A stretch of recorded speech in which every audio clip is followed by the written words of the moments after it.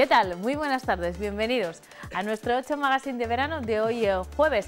Arrancamos hoy nuestro programa preparándonos para el inicio de curso. Mañana comenzarán eh, las clases en infantil y primaria, después llegará el turno de la universidad y después de los estudiantes de secundaria y es un momento para el que hay que prepararse. Seguramente tienen todo el material eh, preparado, todo, eh, todo el material escolar, los libros, la ropa, pero hay que prepararse también emocionalmente. De eso vamos a hablar con nuestra pedagoga Beatriz Núñez al principio del programa. Hoy además estamos de estreno porque vamos a ver el primer episodio de la serie La ciencia que esconde la catedral que está realizado con la colaboración de esta casa, pero por la unidad de divulgación de cultura científica de la Universidad de Burgos.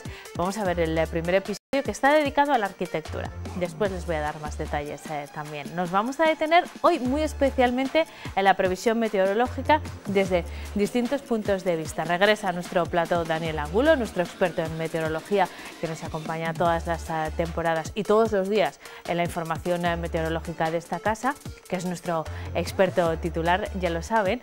Así que con él vamos a repasar la previsión de los próximos días y también algunos aspectos relacionados con el medio natural es que además hoy Gerardo de Mateo se, ha ido, se va a ir hasta Monasterio de Rodilla para saludar en, directo en eh, los reportajes eh, con los que nos acompaña cada tarde a Jorge Rey, que ha sido el encargado de ofrecernos la información meteorológica durante el verano. Hoy van a coincidir eh, los dos, Daniel como nuestro veterano y nuestro titular, y Jorge como bueno, nuestro meteorólogo de verano y, una joven promesa de la meteorología además.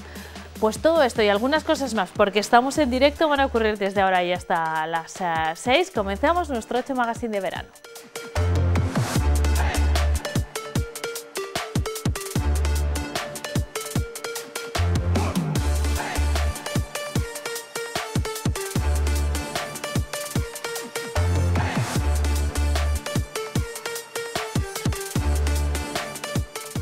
4 y 32, seguimos en, directo. No les he dicho que vamos a estar también en eh, Sasamón, ¿eh? donde se están eh, celebrando, adaptadas a las circunstancias actuales, pero sus fiestas. Allí ha estado Elena Talavera y, les vamos a dar todos los detalles. Vamos a empezar a preparar el curso. Seguramente, si ustedes tienen a su alrededor personas en edad escolar, eh, en cualquiera de las etapas, pues están ultimando los eh, detalles. Si van a asistir al colegio de infantil o primaria, mañana mismo arranca el eh, curso. El lunes en la universidad y el miércoles en día 15 respecto a la educación secundaria. Este es un momento del año importantísimo para los estudiantes y sus familias, pero como hablábamos en nuestra invitada y yo hace un momento, en realidad para todos, porque aunque el año cronológicamente arranca el 1 de enero, lo cierto es que en septiembre organizamos la actividad. De hecho, nosotros el día 20 empezaremos, por ejemplo, la temporada televisiva, pero hablamos de curso político, de curso judicial, eh, en todos los aspectos de la vida. Es una reflexión que estaba haciendo la pedagoga Beatriz Núñez, que me acompaña esta tarde. Buenas tardes, Beatriz, ¿cómo estás? Buenas tardes, Seneca. Es así, la vida empieza en septiembre, ¿no? La vida empieza en septiembre. bueno, la vida continúa en septiembre. Eso es. Pero es verdad que el curso y muchas actividades empiezan o hacen un punto de inflexión antes del verano y después del verano. Acabado el verano, no igual meteorológicamente, nos lo dirá Daniel después ¿no? y, los las personas que vengan, pero sí que empieza una etapa de vuelta a ciertas rutinas. El verano es una época de perder rutinas, de hacer cosas que no hemos podido hacer y proyectos, ¿no? Pero ahora empieza lo laboral para todos y lo laboral para los estudiantes es estudiar, que entonces hay que programarlo. Aunque empieza mañana para los niños pequeños, verdaderamente desde el día 1 o el 2 de septiembre en las casas ya está curso escolar porque si no han querido decirlo es igual la tele, los escaparates, ya tenemos, nos están ambientando. Bueno, mm, todavía hay gente que está medio pueblo, no pueblo, fiestas y algunas cosas así, pero mañana sí. A mí frente a ciertas críticas que han hecho de por qué empezar un viernes, tiene cierta lógica. Es un viernes tonto, por decirlo, porque verdaderamente es el lunes cuando los niños van. Pero en estos 15 días, del 13 a finales de, septiembre, es calentar motores. Técnicamente es eh, poner puesta a punto, ver los niveles, cómo están tus alumnos en clase, aunque las programaciones generales, el profesorado de los distintos niveles educativos ya las tiene cerradas desde junio. Es decir, pero ahora yo he programado esto, pero me encuentro con esto. Yo siempre pongo la misma, el mismo ejemplo. Yo cuando era pequeña eh, siempre he sido alta, pero cuando volvíamos en septiembre al cole, yo mantenía mi altura y había otras compañeras mías de clase que eran más bajitas y llegaba el verano y hacían ¡zum! y me pasaban. Y luego volvíamos otra vez a ponernos. Bueno, pues que sirva de parangón, ¿no? Más o menos una cosa así puede pasar a nivel cognitivo en cuanto a intelecto. Otra cosa es que hemos estado hablando el tema de emociones, ajustes, a una situación que nos ha invadido o nos ha envuelto más bien en la permanente incertidumbre. Vacuna sí, vacuna no. Eh, table sí, table no. Casa sí, casa no. Ahora metro y medio, ahora 1,20. Ahora podemos ir a tomar un café a la barra, luego no. Eh, ahora qué pasa, no pasa. Eso a nivel general, por no decir situaciones concretas de familias que pueden empezar o pueden haber tenido mm, consecuencias importantes, con cambios importantes que han trascendido a lo cotidiano, a lo que han vivido los niños. Y tanto niños como adultos, comunidad familiar y de convivencia, hay que registrarlo y hay que mm, digerirlo juntos. Los niños no es una cosa aparte. La familia como tal pasa por distintas etapas y cada uno lo va digiriendo conforme a la edad que tenga o a la situación que tenga. sí que me permite solamente apuntar que la plasticidad de los niños es maravillosa, que la hemos perdido los adultos. Ese, concepto es muy importante y, y, particularmente ahora que tienen que hacer el cambio. Y me viene muy bien esa reflexión que has hecho sobre la plasticidad porque la última vez que nos vimos en el eh, plató de temporada, el del curso, eh, hablábamos de la necesidad de desconectar por todas esas circunstancias especiales que hemos vivido en el último periodo, pues, desde que se declaró la mm. pandemia, un año y medio, ya mm, segundo curso ya con eh, pandemia. la necesidad de desconectar por completo, de romper con los hábitos para, para respirar eh, un poco, para mm, recuperar también emocionalmente, ¿no? Ahora tenemos que hacer exactamente lo contrario, reconectar. Para eso, eh, esa plasticidad va a ser muy útil en los niños, pero como bien acabas de decir, los niños no van aparte del resto de la familia. Somos todos los que tenemos que adaptarnos a esta nueva etapa, ¿no, Beatriz? Y reconectar. Todos, quiero decir, pero lo hemos, no olvidemos que lo hemos hecho todos los veranos y todas las vacaciones. Ah, parece que la pandemia nos envuelve en algo distinto, no. Primero a mí me parece que es un año muy importante, porque tenemos eh, de alguna forma normalizado lo que hemos hecho frecuente, las mascarillas. Hace dos años, claro, cuando tú lo frecuente lo das por normal, ya te quitas una cosa. Entonces, los niños ven con una normalidad pasmosa ponerte las mascarillas, eh, los geles, yo les veo a los pequeñajos y a los no tan pequeños con tal, con no sé qué. Entonces, todo eso. Pero además nos hemos quitado el lastre de si volvemos a casa o no a casa. Eso es muy importante. Eso nos ha tranquilizado mucho. Es decir, yo quiero hablar desde el aspecto positivo. Ya no saldrán cosas. Los niños están acostumbrados, están acostumbrados a que tienen que hacer filas, que además es muy bueno para temas de, malos hábitos que se estaban dando, de no ir en fila, eh, entrar en fila en los colegios, se daban empujones y tal. Ahora con las distancias de seguridad hemos ganado. Yo creo que esto hay que destacarlo. Las distancias, los geles, tal, todo esto es súper importante. Ya lo tenemos normalizado. El año pasado a mí sí me pareció un curso mucho más complicado. Y por otra parte, las familias y el profesorado o el centro educativo, dentro de esos tres ejes que tenemos en, organización, en gestión, en el sistema educativo, también tienen em, de alguna forma generalizado ciertos hábitos post-pandemia o Mm, que, radican de la pandemia. ¿no? Pues eh, más tablet posiblemente, otro tipo de actividades, atender de otra manera, las videoconferencias y posibilitar incluso que si un niño está enfermo, que antes se te quedaba en casa y como mucho le matabas una noticia, puedas hacer una videoconferencia, le puedas mandar eh, las tareas por un email, por una tablet, hacer un seguimiento distinto. Y por otra parte, las familias también se relajan mucho más. Tener en cuenta que tanto los centros educativos como las familias, como la Consejería de Educación, ha habido una apuesta firme y sólida por temas informáticos, de dotar a las familias más menos desfavorecidas para que los niños tengan esos apoyos. Eso también hay que resaltarlo en general. La universidad también lo ha hecho y los institutos también lo ha hecho.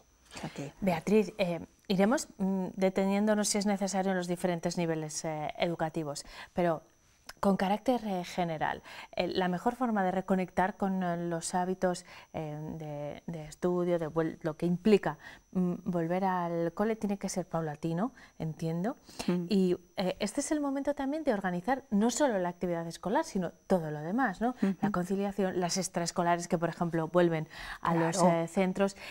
encontrar ese equilibrio entre estudio, mm, descanso, ocio, otro tipo de formaciones en deporte, ¿este es el momento también en el que se toman ese tipo de decisiones? ¿Con qué criterios deberíamos hacerlo? Mira, este es el, momento, como tú muy bien dices, de volver a las rutinas, de volver a la organización, a organizarnos. Y a mí me gusta eso que está tan de moda de menos es más, porque estábamos metidos en una avalancha de más actividades, más cosas, más tal, más no sé qué.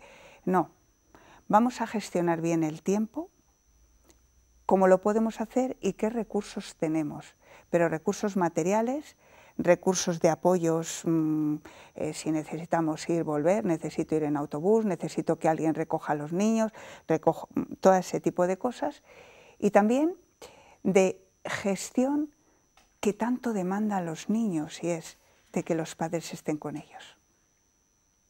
Eso es algo también eh, muy positivo que nos dejó la pandemia. Hablamos en su momento de ese tema. A ver si ahora, mm, quiero decir, lo trajo, ¿qué se vendió en pandemia? Los juegos de mesa, los juegos de familia que les habíamos perdido.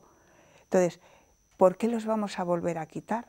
Es decir, ahora son días en que es importante horarios de comida, horarios de levantarte, de lunes a viernes, empezar con el estudio, tomar la ilusión por los libros nuevos, los libros, las tablets, la mochila, todo lo que nos eh, compremos y, luego también que no solamente sean los padres los que organizan con los niños. He apuntado a mi niño a, pero lo quiere hacer, es que hay veces que dices, no, es que le he apuntado a, no sé, fútbol, pues ayer jugó en la selección, pues fútbol. Ah, no le gusta tal, pero le has preguntado si quiere. Ah, porque sean niños, porque sean pequeños, no quiere decir que no les podamos preguntar. Otra cosa es que tú veas posibilidades, habilidades, actitudes. Eh, se necesita la aptitud y la actitud, con C y con P. Si junto es la bomba. Pero hay veces que hay que despertar la motivación y hay que esperar a cierto grado de maduración. Podemos pactar con ellos. Es decir, juegas al fútbol si vas a inglés. Sabemos lo que son los idiomas. A él le gusta el fútbol, pero tú ves que el inglés, por ejemplo, es importante. Bueno, ¿por qué no? No, hay ciertas imposiciones. Y luego, bueno, si los padres están estresados, los padres van a pasar el estrés a los hijos. Estamos deteniéndonos mucho los más eh, pequeños, pero me gustaría hablar también de eh, la etapa secundaria porque nos quedan eh, pocos minutos y, creo que es un colectivo al que hay que prestar también especial atención. fue seguramente uno de los más perjudicados por mm. las restricciones que ha impuesto la pandemia, que desde el punto de vista de la salud pues son novias, pero que a, adolescentes les han afectado mucho y que empiezan un curso eh, con un índice de vacunación importante. Ahí sí se está vacunando ya en esa franja de edad, con lo cual, de nuevo, mm, la presión ha disminuido un poco, Beatriz.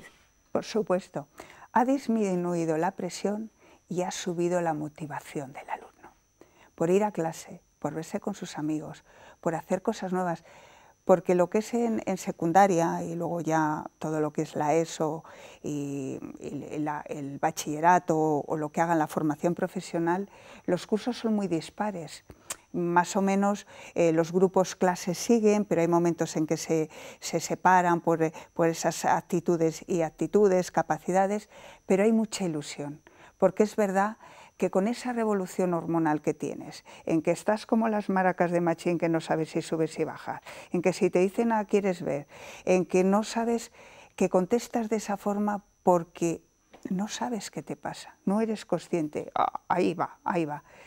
Es un momento muy bueno para aprovechar la motivación, para engancharles por todo aquello que les pueda hacer vibrar, aquello que les pueda hacer conocer, aquello que les enganche con sus em, gustos, con su música, con su tal, pero mm, desde lo puramente académico.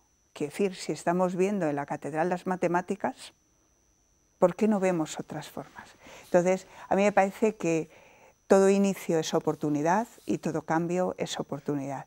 Y la gente, aunque no nos lo creamos, tiene ganas de hacer, de colaborar y de experimentar cosas nuevas los pequeños, los medianos y los que son un poco más grandes. Bueno, pues vamos a empezar el curso, yo creo que con mucha ilusión, eh, Beatriz, eh, y controlando un poco las expectativas, que enseguida, ¿verdad? Eh, generamos muchas expectativas que luego son difíciles de hmm. cumplir. Vamos a intentar verlo desde el punto de vista positivo, hacerlo juntos en eh, familia y, bueno, espero que tengamos un curso estupendo en el que hmm. vamos a hablar mucho de educación, tú lo sabes, ya se lo contaremos a nuestros espectadores con más detalle y vamos a ir eh, viéndonos con frecuencia, lo cual va a ser un hmm. placer como siempre. Yo lo único, lo único hacerte un, un pequeño detalle, un pequeño apunte, hemos hablado de los alumnos, hemos hablado de los padres, pero desde luego que hay que hacer mm, un auténtico elogio a todo el trabajo ingente que ha hecho el profesorado durante siempre y que no está visto. Que decir, hemos visto a los, a los sanitarios y se les ha hecho, pero el profesorado ha sido de un día para otro, porque ahí tú no veías enfermos. Tú hoy estás en clase y al día siguiente estás en tu casa y tienes que gestionar muchísimas cosas con muchísima atención. A mí me parece que hay que hacer un merecido homenaje al profesorado. Pues voy a recoger ese testigo, Beatriz, y, lo llevaremos a cabo eh, también a lo largo del eh, programa de la temporada que arrancamos, que nosotros como el curso arrancamos en septiembre. Muchas gracias, que tengas buen curso. Gracias a vosotros. Vamos a volver a la catedral. Eh, ya saben que este año está muy presente porque se han eh, cumplido los 800 años eh, desde la colocación de la primera piedra de la catedral. Con ese motivo en esta casa realizamos eh, la serie Bella Burgartis de la mano de Jesús Toledano, que se ha tomado un descanso durante este verano que retomaremos sin duda entrado ya el otoño, pero antes Vamos a disfrutar, compartir con eh, todos ustedes otra serie dedicada a la catedral, esta vez realizada desde la Unidad de Cultura Científica de la Universidad de Burgos, La ciencia que esconde la catedral. Estrenamos el eh, primer eh, capítulo de esta serie dedicado a la arquitectura desde los cimientos hasta las agujas de la catedral.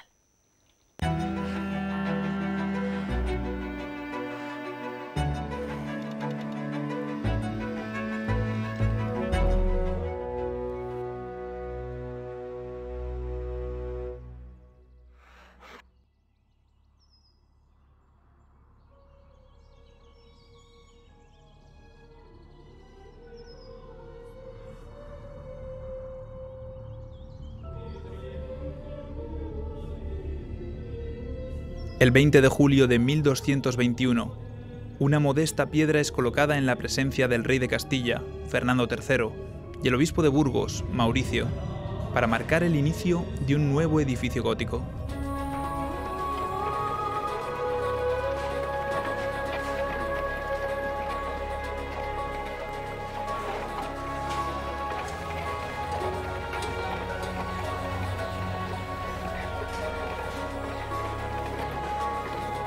800 años después, la Catedral de Burgos celebra su aniversario en todo su esplendor.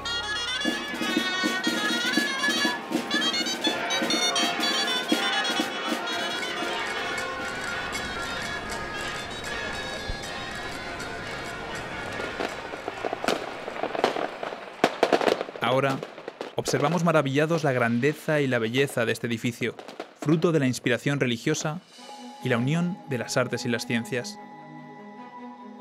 en gran medida el haber nacido y el haber vivido a la sombra de este edificio, pues me ha conformado. Es uno de los sitios en donde más a gusto me siento en el mundo, en torno a la catedral, en torno a la catedral de Burgos. Yo soy burgalés y desde niño para mí la catedral de Burgos ha sido un referente. Entonces, yo me acuerdo cuando estudiaba arquitectura, la ilusión que me haría algún día pues, poder visitar la catedral de Burgos, conocerla. La catedral es una alabanza a Dios, a través de, un joyel donde están en el máximo nivel de belleza la vidriera, la arquitectura, la escultura. Las catedrales comparten etimología con los catedráticos de universidad. Ambas palabras provienen de cátedra, la silla desde la que tanto el obispo como el profesor, cada uno en su ámbito, transmitían sus enseñanzas. Con ese mismo espíritu didáctico, vamos a explorar la arquitectura, la piedra, las matemáticas, la pintura,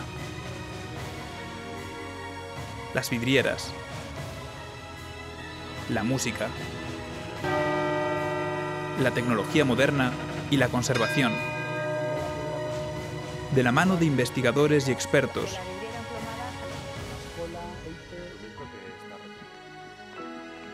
para descubrir la ciencia que esconde la Catedral de Burgos.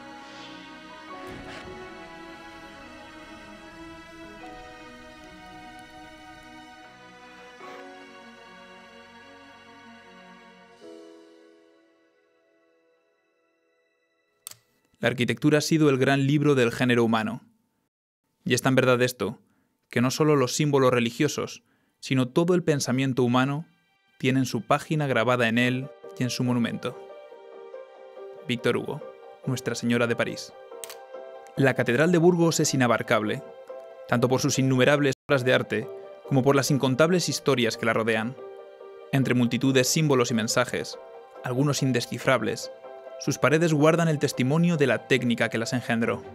Es un edificio en el que la ciencia, la técnica y la religión se unieron en un proyecto común.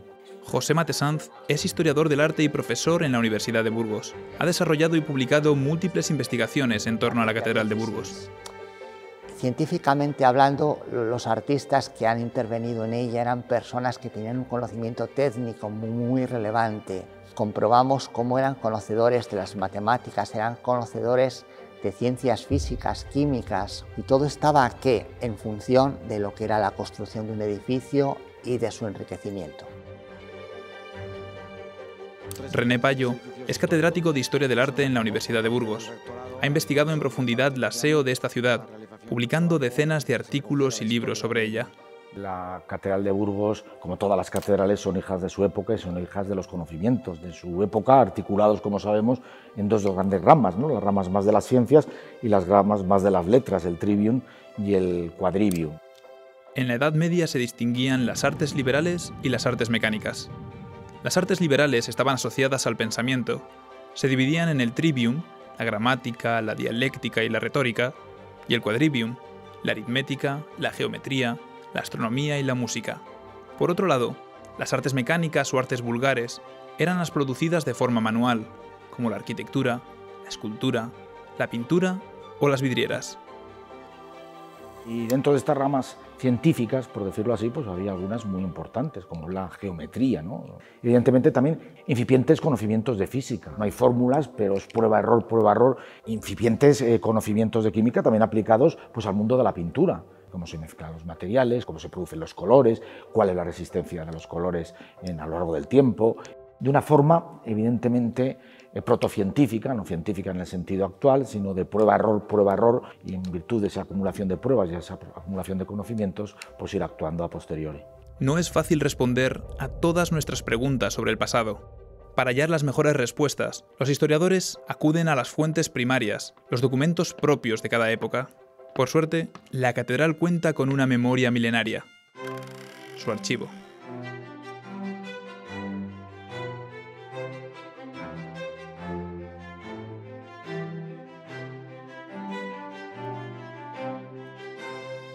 Aquí se va recogiendo todo este gran cúmulo de documentación, no solamente relacionado con la fe, con la religión, sino incluso también con la economía, con la medicina. E incluso nosotros podemos perfectamente conocer cómo era la ciudad de Burgos.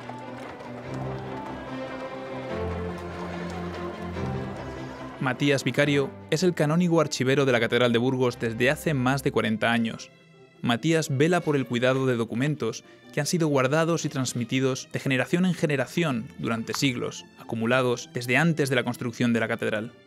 La labor que se realiza en estos momentos en el archivo es ir recogiendo toda la documentación que produce la catedral, que produce el cabildo, ya desde el inicio de la diócesis de Burgos, el año 1075, cuando se determina por Alfonso VI que la diócesis, la antigua diócesis de Oca se estableciera aquí en Burgos, se construye la catedral, una antigua románica, y desde ese mismo momento se empieza a producir diversa documentación. Y en estos momentos eso es lo que el archivero eh, pretende, conservar esta documentación y también ponerlo a disposición de los investigadores.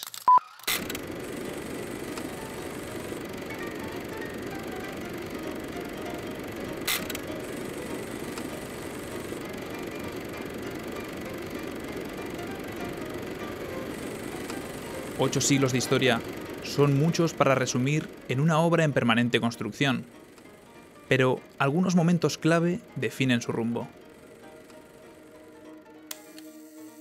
Los momentos clave de la Catedral de Burgos son, el primero, evidentemente, la colocación de la primera piedra en 1221. Hay varios hitos, entre ellos la propia catedral gótica. Hasta la mitad del siglo XIII, la ampliación del claustro, la colocación de las agujas, el cimborrio, la capilla del condestable.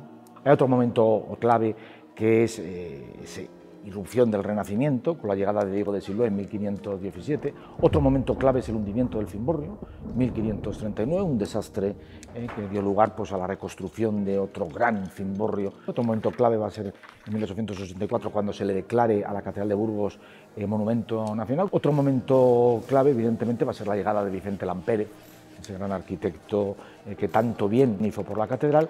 Y otro momento clave van a ser pues, esos años 90 en donde pues, la ciudad de Burgos, pues, de consumo, todos a una, eh, pues decidió que había que empezar un proyecto de restauración de la catedral que en estos momentos se halla en proceso de culminación.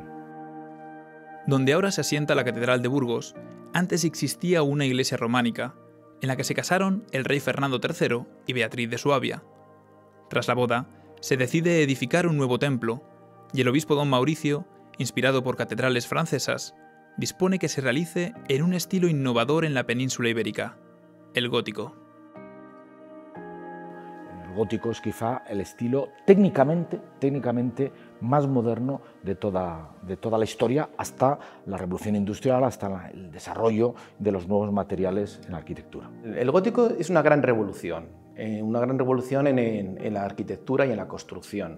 Javier Garavito es profesor de la Universidad de Burgos y arquitecto, junto a José Manuel Álvarez Cuesta, de las obras de restauración de la Catedral de Burgos. Pasamos de un estilo anterior, el románico, que es un estilo que está todo basado en muros de carga, en estructuras muy pesadas, bóvedas de cañón, muy complicado abrir huecos para introducir la luz, a tener una estructura independiente, que es la estructura de los nervios góticos, eh, de los pilares, arbotantes, pináculos, que al final lo que hacen es liberar los muros, se puede alcanzar mucha más altura y sobre todo se introduce la luz a raudales dentro del edificio, porque ya realmente los muros no tienen función estructural.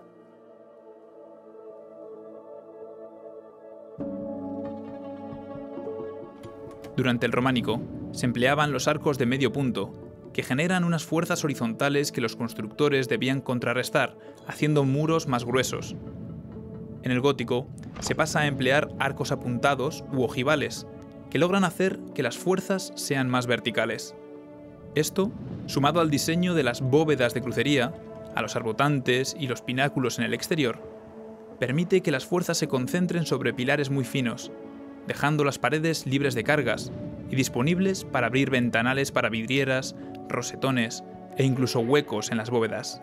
En la Catedral de Burgos tenemos varios ejemplos de, bóvedas caladas, que al final es un alarde, un alarde estructural, porque lo que tenemos aquí son eh, un ejemplo claro de, una estructura nervada en la cual se están transmitiendo pues, todos los esfuerzos a los nervios y lo que sería la plementería, lo que es el caparazón, como no tiene función estructural, pues se puede eliminar y se permite la entrada pues, de, la luz eh, libremente. ¿no? Lo más sorprendente para mí de, como técnico ¿no? de la construcción de la catedral en su momento pueden ser los medios auxiliares. Estamos pensando que, que los medios que tenían en el siglo XIII eran muy similares a los que describe Vitruvio en el Tratado de Arquitectura del siglo I, un poquito más evolucionados a base de poleas, cabestrantes, los andamios son de madera, atados con cuerda. Me parecía un riesgo tremendo y me parecía increíble que lo pudiesen hacer.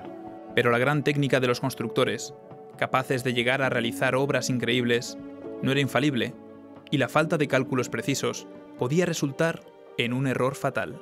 Un tema muy interesante de la Catedral de Burgos es la construcción del primer cimborrio, diseñado por, por los Colonia, que en el año 1539 eh, se desploma por la noche y gracias a Dios no hubo víctimas mortales. Las causas de este desplome, de esta caída del cimborrio, la verdad que no están muy estudiadas, pero todo apunta a que había un exceso de desbeltez de las columnas que no fueron capaces de, absorber los esfuerzos y al final, pues una noche que hubiera pues, un, un huracán unos fuertes vientos, se desplomó el, cimborrio.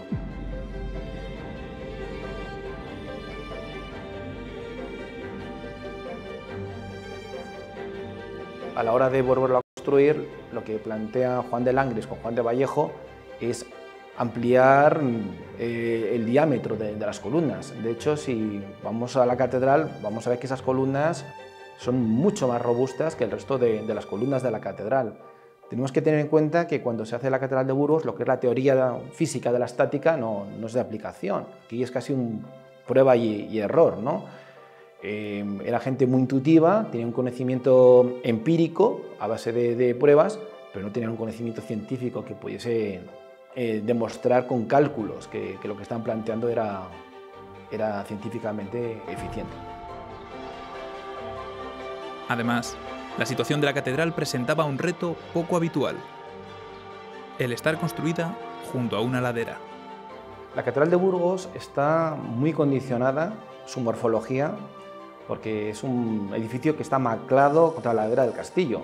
tenemos que pensar que cuando empiezan la edificación de la Catedral de Burgos, en el siglo XIII, sobre la Catedral románica, el solar que había era el que, estaba dentro de las murallas, entonces estaban totalmente condicionados al espacio físico existente. Entonces se tienen que enfrentar al reto de, construir contra una ladera con todo lo que implica. Eh, ¿Qué implica básicamente en cuanto a arquitectura? Pues que tenemos varios niveles en la catedral. O sea, tenemos el claustro, por ejemplo, está edificado en dos alturas desde el origen.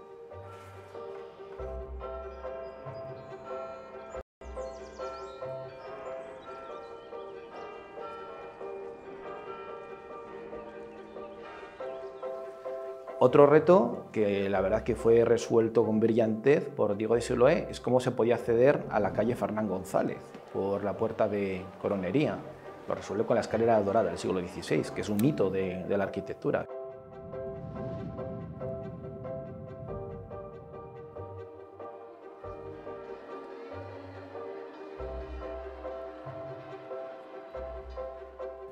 Y luego otro problema que presenta son el tema de las humedades.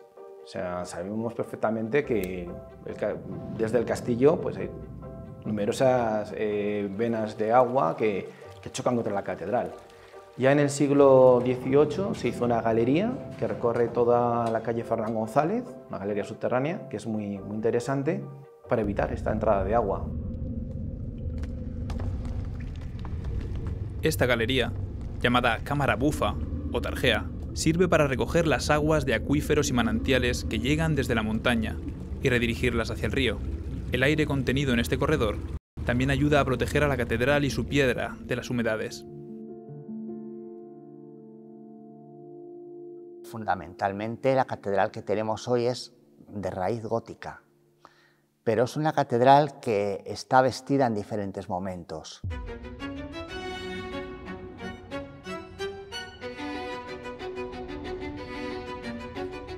Sobre lo que sería la catedral gótica de los siglos XIII, XIV, hay otra catedral tardogótica del siglo XV,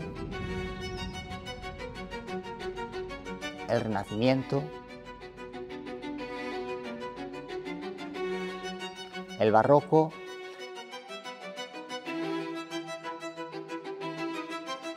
Y el neoclasicismo. Sumado de todos esos elementos de diferentes épocas, hoy nos da una sensación de un conjunto único que es lo fundamental. Al final es una amalgama de estilos, es una catedral gótica eminentemente, pero que ha sufrido transformaciones a lo largo del tiempo que lo que han hecho ha sido enriquecerla.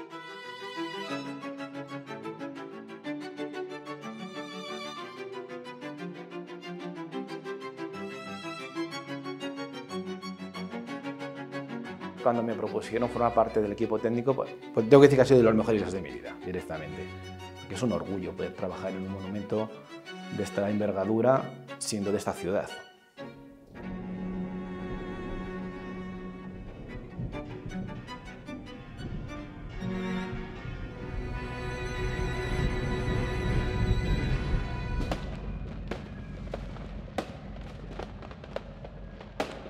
Los avances arquitectónicos con nuevas formas, como los arcos ojivales, y un conocimiento más profundo del reparto de las fuerzas, como demuestran las bóvedas de crucería y los arbotantes, permitieron desarrollar una construcción cuya altura, complejidad y elegancia sigue maravillando a cada generación, consiguiendo el efecto de que hasta la pesada piedra parezca ligera.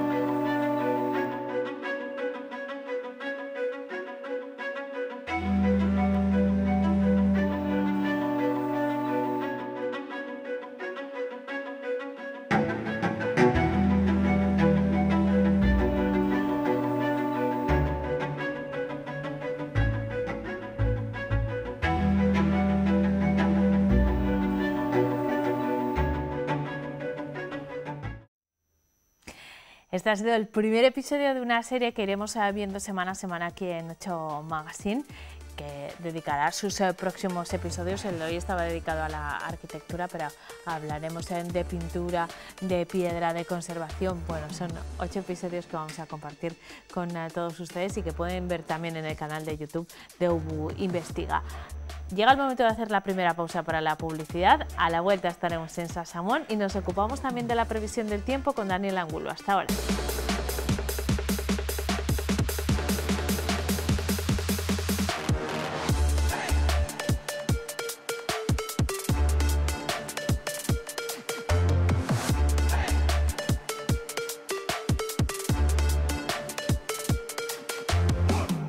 Las 5 y cuarto y seguimos en directo nuestro show magazine de verano. Eh, llevamos este apellido en el nombre del eh, programa porque estamos en verano, porque cambiamos de plató, porque mm, tenemos también otro tipo de contenidos, pero nos gusta mucho que nos acompañen nuestros titulares en ya de temporada tras la vuelta de vacaciones. También en el eh, plató de verano y en el de temporada, ¿eh? que nos eh, cambiaremos en nada, en unos días. Pero ya está de vuelta a la 8 Burgos, a 8 Magazine en concreto, porque la 8 Burgos lo vemos todos los días. Daniel Anguro, ¿qué tal? Buenas tardes, Daniel. Pues muy buenas, Eneca, muy buenas a todos. Y pues feliz de reencontrarme aquí contigo y con nuestros telespectadores, seguidores. Daniel decía que este es nuestro plato de verano que... No, la verdad que es muy confortable, ¿no? no le conocía, pero... Y muy agradable, ¿eh? me gusta, me gusta. Estamos en las últimas semanas de verano, queríamos eh, todavía compartir... A la verdad que el decorador que haya hecho esto ha elegido muy bien. Ha sido David Ruiz de Cultura de Flor. Me gusta, sencillo, es sencillo y a la, a la par muy elegante.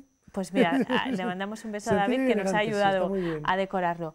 Pero que todavía estamos en eh, verano. Mm, hoy, por ejemplo, ha sido un día menos eh, veraniego, pero con, eh, con, los meses tan secos que estamos eh, teniendo, seguramente a Daniel Ángulo le hubiese gustado que hoy hubiese llovido un poco más. Bueno, hay que esperar a que acabe el día, todavía estamos en la tarde y estamos esperando un frente ya esta noche que va a llegar, ya está ahora mismo por Galicia, León, y sí, ya en las últimas horas de la tarde, ya cuando anochezca, bueno, ahora ya va anocheciendo cada día más pronto, pues tendremos la llegada de ese frente que nos va a dejar algunas lluvias esta noche y sobre todo van a ser más importantes en Merindades, en el norte de nuestra provincia. Así que hoy sí que va a llover, eh, tranquilidad, porque bueno, todavía ahora está llegando el viento este eh, más cálido del sur, pero luego girará al suroeste a partir de las 7, las 8 de la tarde, y luego ya entre las 9, las 10, incluso un poco antes, bueno, pues vamos a tener lluvias por el norte, abundantes por el noroeste, y luego llegarán algunas también aquí al centro, y luego ya durante el resto de la noche y la madrugada próximas al este de la provincia, o sea que sí, esperamos un frente y unas lluvias. Ya es natural que en septiembre, según avance septiembre, vayan cambiando poco a poco las cosas. Eh, ayer celebramos la Virgen de septiembre, la Natividad de la Virgen, y es una fecha no solo que mm, de referencia, no, no solo les digo es una fecha en la que es fiesta en muchas localidades, este 8 de septiembre, sino que eh, marca también, como decíamos, un declive del verano. A partir de la Virgen de septiembre ya pues pueden empezar a llegar ya cambios en el tiempo, descensos de temperaturas que nos hagan ya presagiar el otoño. Hasta que llegue el veranillo de San Miguel, que es mi preferido, ya lo sabes, ¿eh?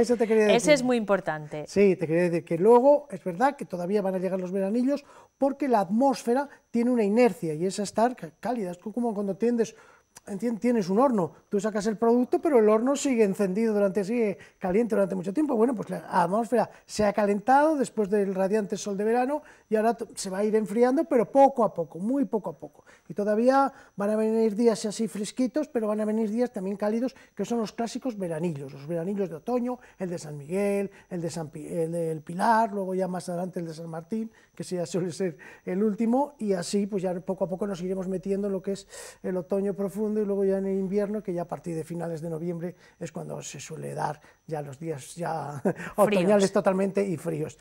Y bueno, pues el otoño astronómicamente comenzará el próximo día 22, a las 21, 21 del próximo martes creo que es, día 22, ahí comenzará astronómicamente el, el, otoño.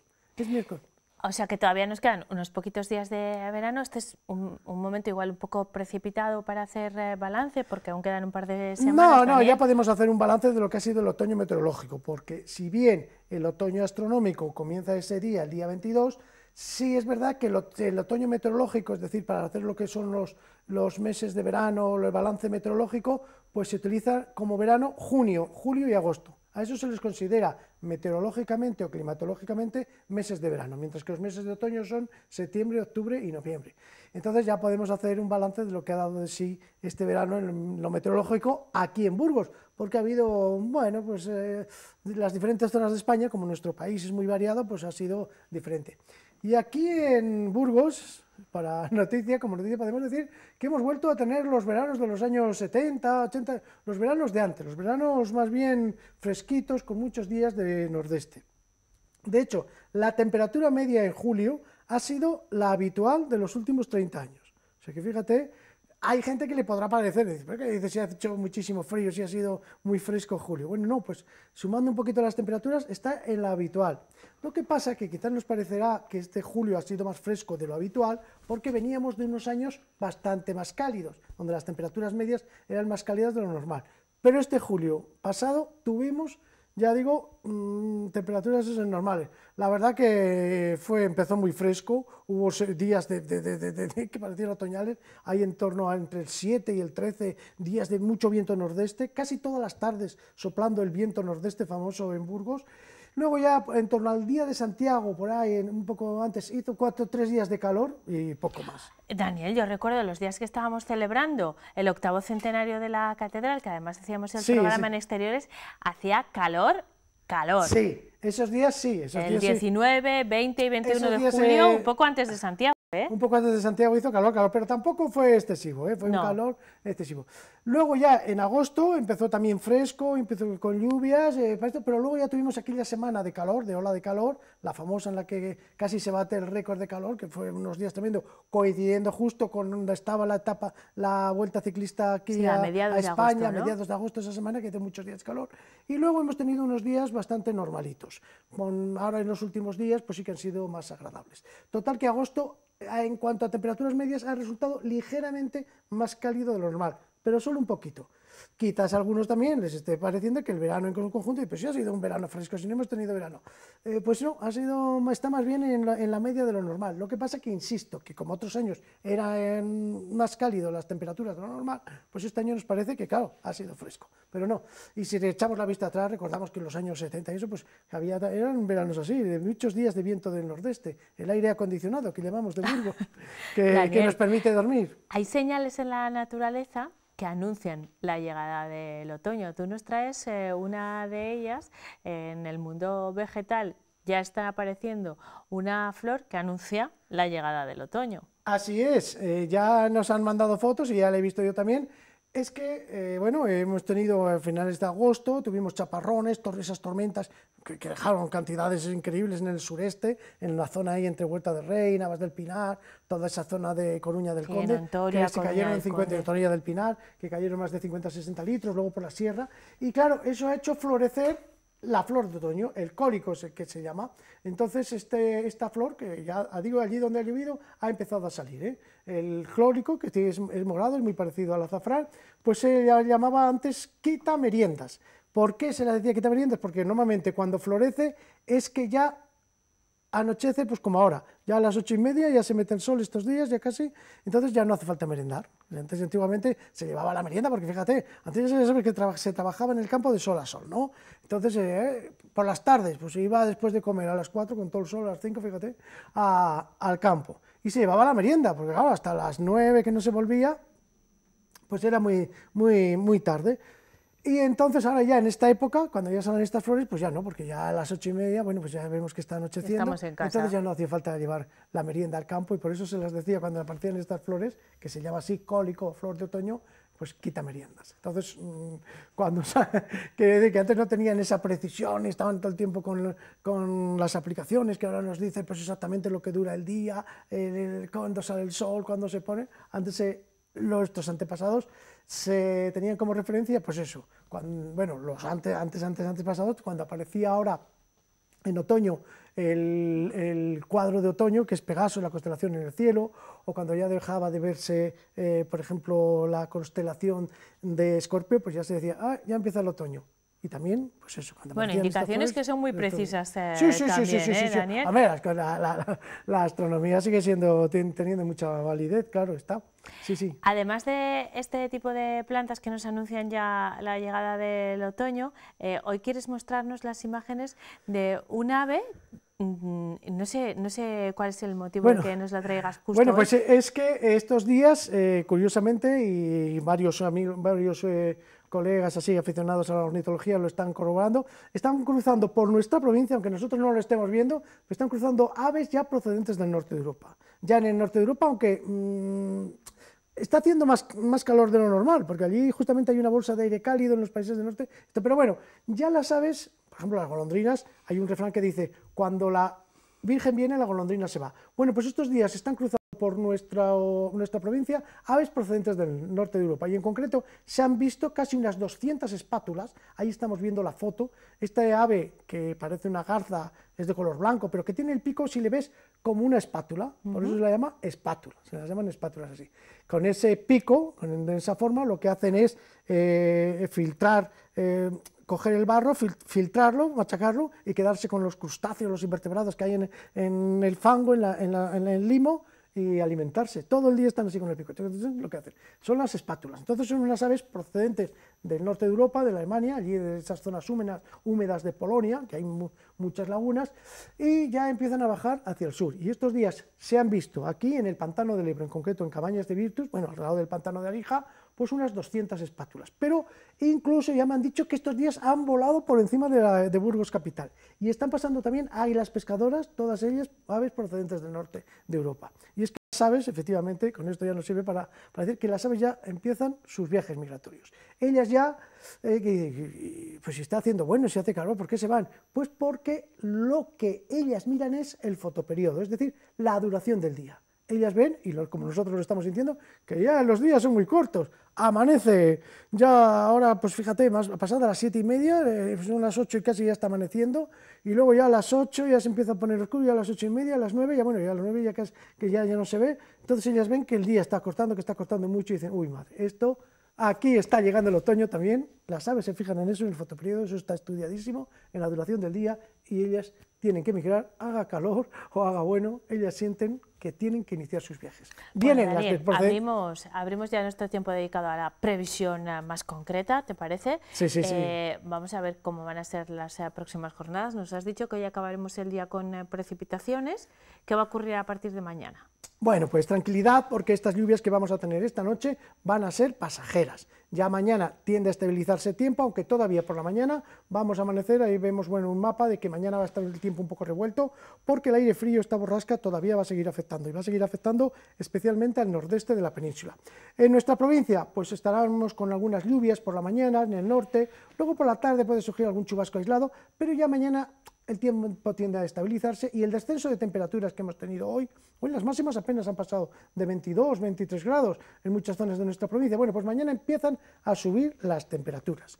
Y eso es el preludio de un fin de semana que, mira, decían, hemos comentado muchas veces, y me comentaban muchas veces, no, si es que esto del buen tiempo tenía que estar en el Estatuto del Trabajador, en el convenio, que el fin de semana hiciese bueno, porque oye, uno se tira trabajando y quiere disfrutar el fin de semana. Pues últimamente llevamos dos fines de semana que es así. Durante la semana un de remonte y luego llega el fin de semana y hace bueno. Y este va a ser así.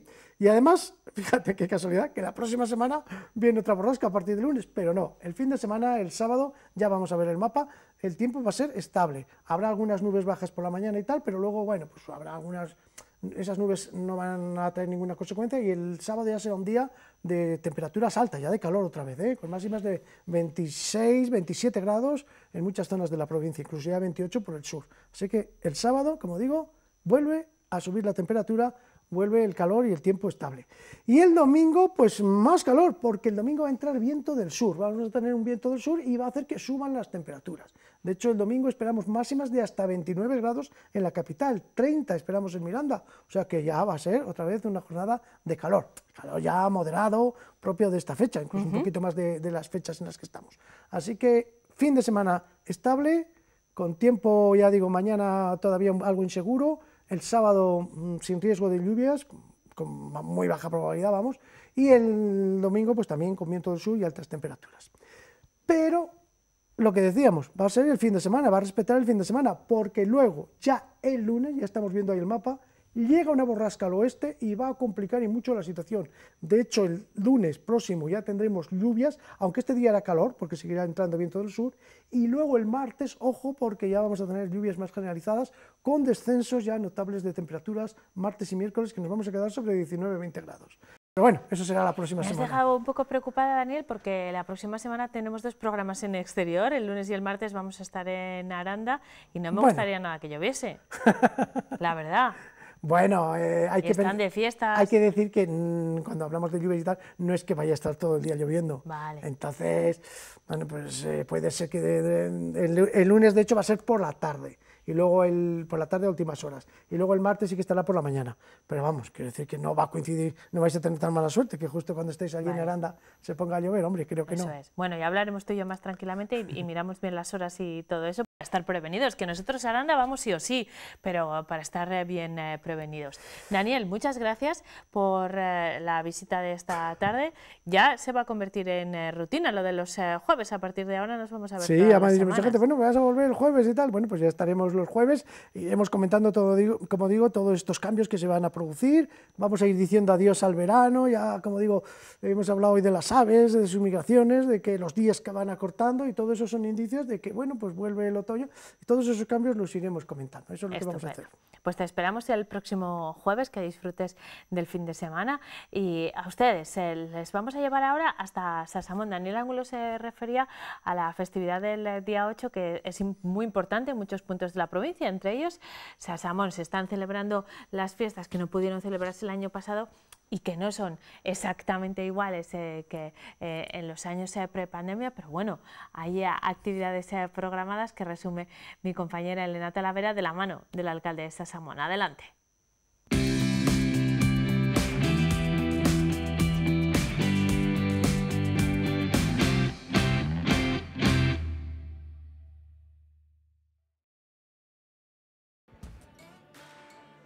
Hoy nos hemos venido hasta Sasamón. Esta iglesia que veis aquí atrás ha sido catedral y como podéis comprobar no nos extraña. Hoy es el día de su patrona Santa María de la Real y hay una gran cantidad de actividades en el día de hoy que nos va a contar ahora en unos segundos su alcalde.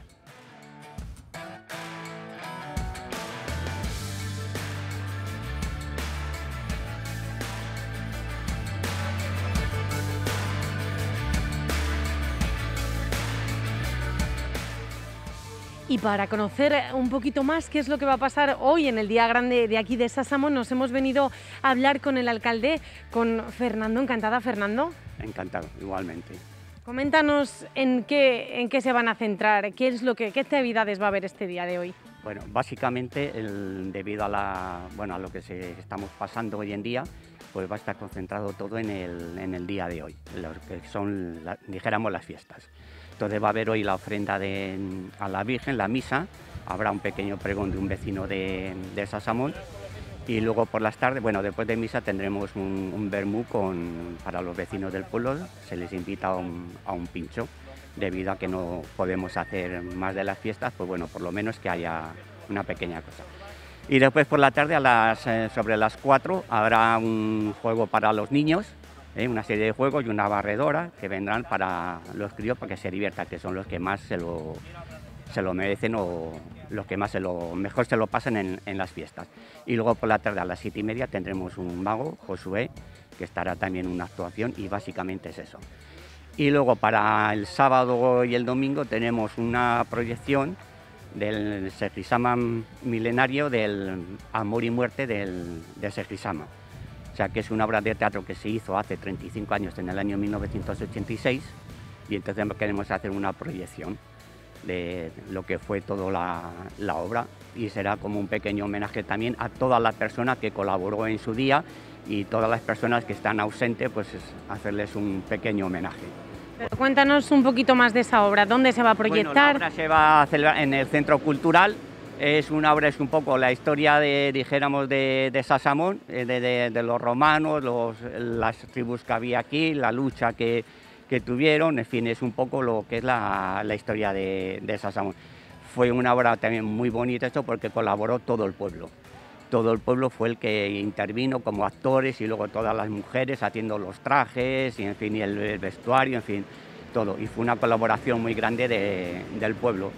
Y entonces se dejó, bueno, se terminó ya, se dejó de hacer y ahora queremos hacer la proyección que la tenemos grabada, pues hacerlo en el Centro Cultural. Será el sábado a las 9 y el domingo a las 6. Y posiblemente si lo tenemos que dar otro día más, pues la haremos el próximo fin de semana también. Recordamos, el sábado a las 9, el domingo a las 6 de la tarde, ¿verdad? Y la entrada es gratuita y es para, Sí, para sí, los... sí. Entrada gratuita, por supuesto. Y para todos los vecinos del pueblo y si quieren venir de la comarca, que seguramente algunos querrán venir también para ellos.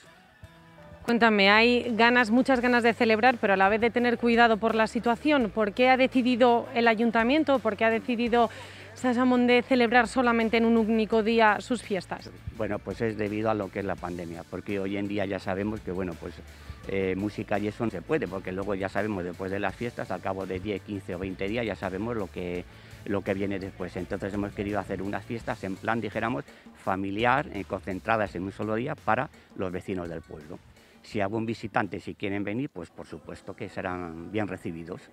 Unas actividades que están para, para niños, ¿verdad? Y para mayores. Cuéntanos qué va a pasar esta tarde para esos niños, qué, va, qué van a poder hacer cuando vengan. Bueno, pues habrá una serie de juegos ¿eh? y luego una barredora. Vamos, yo creo que se lo pasarán bien. ¿eh? Estarán entretenidos y, luego los mayores, pues luego tendremos un bango que será a las siete y media, que creo que también que lo pasaremos bien. ¿eh? Estamos, estamos ya las fiestas del año que viene? Hombre, pues esperemos, esperemos ya que por fin al año que viene todo esto haya pasado, se termine y podamos celebrar unas fiestas como realmente se celebraban y como todo el mundo queremos que sean. Todos estamos colaborando, o sea, queremos que las fiestas sean como van de ser, pero bueno, yo de todas maneras, si yo sé que esperaba más o más fiestas, esto, pues lo siento, o sea, pido disculpas, pero la situación es la que hay y es lo que manda. Pues muchas gracias Fernando. Vamos a volver a recordar y a retomar. En el día de hoy se va a hacer la misa, ahora en, unos ratitos se va a hacer la ofrenda. Esta tarde habrá unas actividades para niños y además el sábado y el domingo que viene habrá una proyección de, una, de un teatro que se realizó aquí, recuérdame, hacía... En el año 1986. 1986 para recordar un poquito a los que ya no están, en la que participó todo el pueblo y que con mucho cuidado todo el que quiera venir a recordar la historia de Sasamón puede venir hasta aquí el sábado y el domingo que viene. Encantado otra vez y muchas gracias. Pues muchas gracias a vosotros y espero que, que lo pasemos bien y que serán bien recibidos todo el que venga. Seguro que sí. Gracias.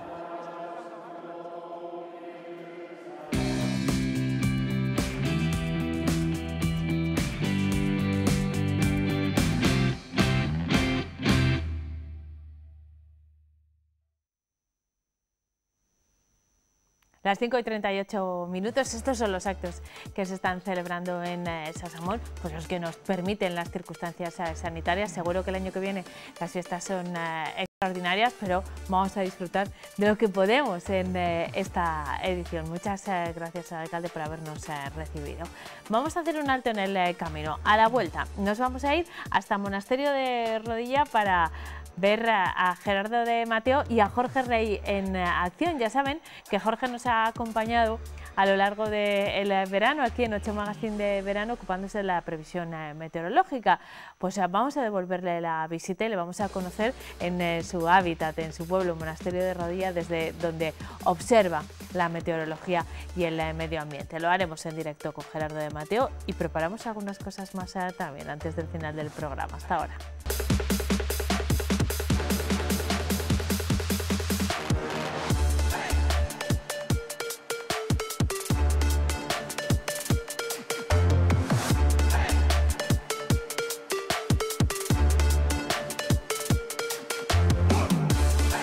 Estamos de vuelta en nuestro 8 Magazine de verano cuando son eh, las 6 eh, menos cuarto. Queremos eh, proponerles un juego de escape urbano que se desarrolla en algunos de los lugares más emblemáticos del centro de la capital. Es un juego gratuito que su creador ya ha desarrollado en otros puntos de España. ¿Quieren ver cómo funciona? Pues de nuevo conectamos con Elena Talavera que nos lo va a contar. Adelante.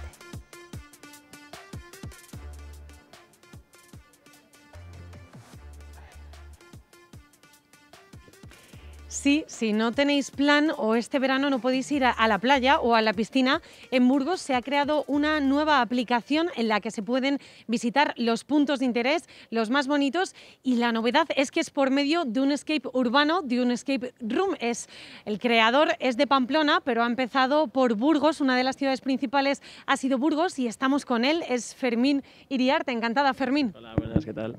¿Cómo surge esta idea? Bueno, eh, esta idea viene, bueno, eh, está en una aplicación que la desarrollamos hace tres años para visitar ciudades de una forma sencilla y en este interés por, por, buscar una forma diferente de visitar ciudades, se nos ocurrió el concepto de aplicar el escape room para, para visitar la ciudad. Entonces, uniendo, uniendo esto, conseguimos esta fórmula que son las rutas de escape que eh, vas visitando los diferentes puntos de interés, pero además te vas fijando más porque tienes que ver detalles sobre monumentos, sobre estatuas, inscripciones. La aplicación es gratuita, ¿verdad? Y cuéntanos un poco quién la puede utilizar, a quién está enfocado, cómo se, cómo, cómo se mete una persona, nuestros, la gente que nos está escuchando, cómo se descarga la aplicación. Bueno, es una, una aplicación gratuita que se puede descargar tanto para Android como para Apple, para iOS y la, va dirigida no solo a turistas, sino también para gente aquí de Burgos, porque muchas veces eh, me pasa en Pamplona que paso por sitios del casco antiguo que paso todos los días y muchas veces me paro a pensar, ¿no? Entonces es una forma este juego que durante una o dos horas puedas ver Burgos desde el ojo de, de un turista, ¿no? Como si todo fuera nuevo y fijándote en todos los detalles. Si tuvieras que explicar qué es un escape urbano, porque a lo mejor hay gente que no sabe lo que es un escape room, ¿cómo nos explicarías lo que nos vamos a encontrar en esa aplicación? Bueno, en esta aplicación vamos a, encontrar un, juego, ¿no? Un, misterio que hay que resolver. En el caso de Burgos se llama el cofre del Cid y es un, misterio que eh, habla de, nos cuenta que había, el Cid tenía un cofre donde guardó todos sus tesoros durante toda su vida y se perdió. Y de repente hemos recibido una pista que hay indicios que sabemos dónde está. Entonces el juego se desarrolla en diferentes zonas de Burgos y en cada una tienes que ir resolviendo una prueba, un acertijo que te irá dando pistas y te vas acercando hasta el destino del cofre. ¿Y cómo, cómo hace Fermín para que surja esta idea, para desarrollar esta aplicación? ¿Cómo, cómo lo has hecho? Bueno, eh, para desarrollar la, la idea había que darle mucho, mucho a la cabeza porque al final es una aplicación que tiene rutas, que tiene puntos, entonces nunca puede ser como un escape room donde está todo controlado. En este caso estamos en plena calle, entonces tenemos que jugar con cosas que están en la calle que no se pueden mover. Entonces, a través de, la, eso, pues como he dicho antes, de monumentos, de inscripciones, de, también de la historia de Burgos, que también hay alguna prueba que tienes que remontarte a la historia de Burgos y a las explicaciones que hay en las rutas para también resolverlo. Entonces, una combinación de ellas eh, las hemos usado para hacer un, es un juego que sea entretenido, que también algo aprendas y que todo el mundo pueda, pueda utilizarlo. ¿Qué crees que le va a aportar esta aplicación en sí a la ciudad de Burgos? Creo que le puede aportar eh, a los turistas, de darles otra, otra forma también de, de, ver, de ver Burgos y que se puede complementar perfectamente a cualquier otra. Y también a la gente de Burgos que muchas veces miramos hacia afuera y, no nos quedamos con lo que hay en la ciudad. Entonces, que como he dicho antes, por unas horas puedas volver a ver la ciudad de Burgos como un turista, como algo nuevo y te fijes en cada detalle.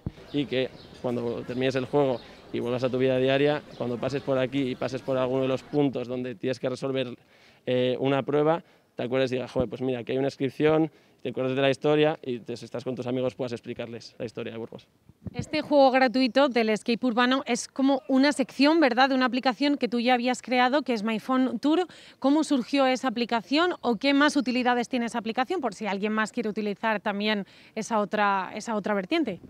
Pues la aplicación MyPhone Tour eh, nació con el concepto de ayudar al turista, al turista, bueno, a cualquier persona que quiera visitar una ciudad, eh, a visitarla de una forma rápida, sencilla, de forma gratuita y con el móvil. Eh, comienza con unas rutas GPS con las que visitar la ciudad y los diferentes puntos de interés que debemos conocer y en cada una una historia con, con su explicación.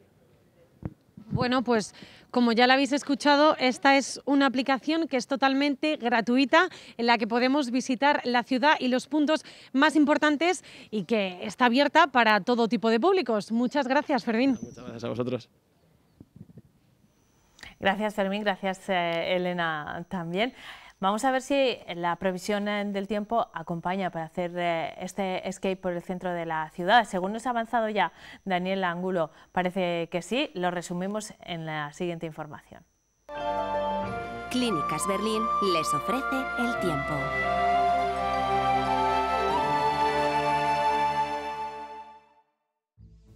Hoy vemos la imagen del satélite en el canal visible de toda Europa occidental y así podemos comprobar cómo anda de revuelto el tiempo, sobre todo en el Atlántico Norte, con borrascas que pasan consecutivamente y una de ellas nos está afectando a nosotros, con abundante nubosidad hoy sobre la península ibérica. Mañana el frente que nos está dejando hoy algunas lluvias ya se irá alejando hacia Francia, mientras otra borrasca se forma pero muy al oeste de Portugal. Mañana ya quedarán algunas lluvias en el nordeste, pero en el resto, como vemos, se irán abriendo claros y el tiempo se irá estabilizando. Concretando para nuestra provincia para este viernes 10 de septiembre. En el norte todavía por la mañana habrá algunas lluvias, pero irán remitiendo según avance la jornada.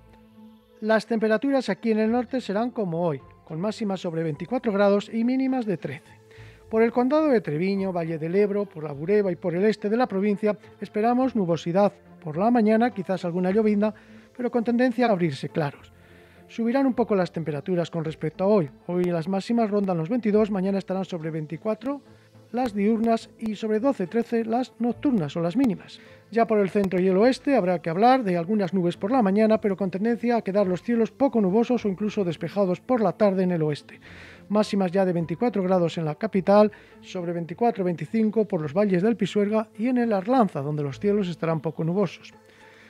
En la mitad sur, cielos poco nubosos, quizás alguna nube de desarrollo en el sureste por la tarde y temperaturas en ligero ascenso. Más de 24 grados, día muy soportable, mínimas de 12-14 grados. En la sierra solo algún chubasco por la mañana, con tendencia a subir un poco las temperaturas. Mañana en Burgos Capital, nuboso a primeras horas, quizás con alguna llovizna y tendencia por la tarde ya a quedar poco nuboso despejado. Empezarán a subir las temperaturas tras el descenso experimentado hoy. Ascenso que será mucho más notable durante el fin de semana. Tenemos por delante un fin de semana soleado y, como digo, incluso con calor, especialmente el domingo. El lunes también calor, pero con lluvias por la tarde.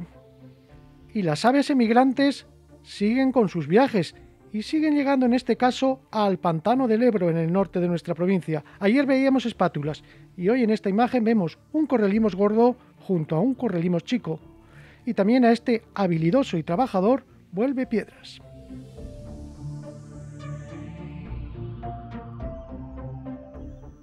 Seguimos ocupándonos de la información meteorológica, pero desde otro punto de vista, el de un muy joven aficionado a la meteorología, quien ustedes eh, conocen eh, bien. Se trata de Jorge Rey, que está con Gerardo de Mateo en su pueblo, Monasterio de Rodilla. Gerardo, buenas tardes.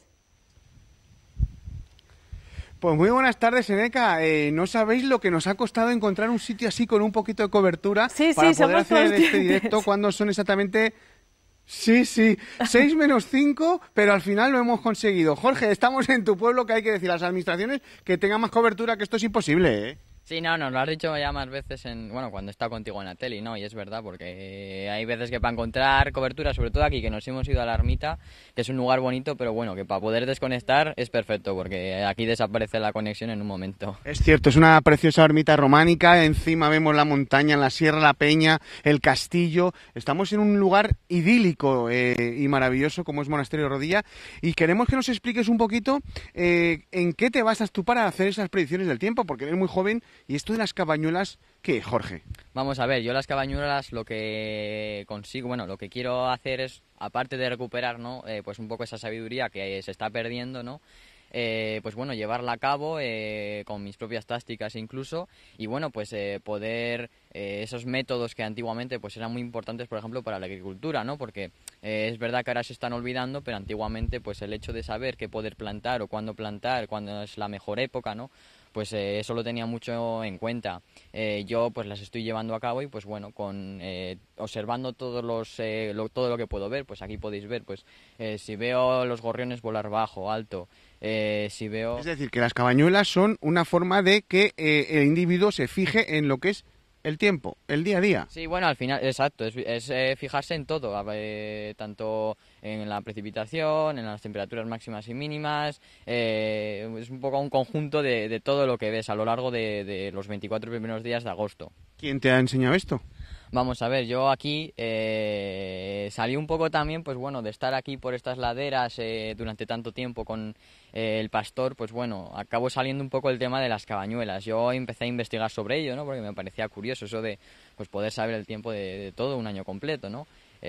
Y pues me enteré un poco cómo funcionaba, ¿no?